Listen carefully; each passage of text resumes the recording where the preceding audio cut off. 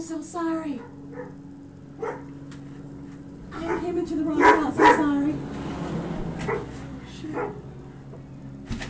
What the hell? No, I apologize. I went to. I'm supposed to go to my friend's house.